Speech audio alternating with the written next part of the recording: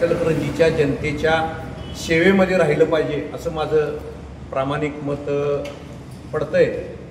आणि भविष्यामध्ये राहुल आवाडे यांना विधानसभेच्या आमदारकीसाठी शुभेच्छा.